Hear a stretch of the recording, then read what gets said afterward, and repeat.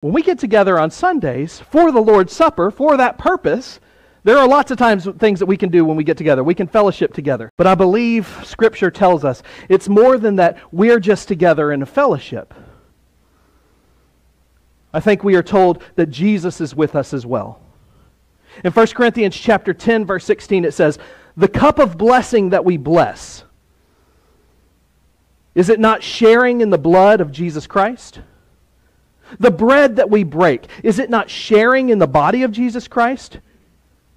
And so, one of the things that we see here is this word sharing in the bread. And that word is, that's used is a word called koinonia. And you probably have heard this word before. Koinonia is a Greek word for fellowship, it's also a Greek word for participation.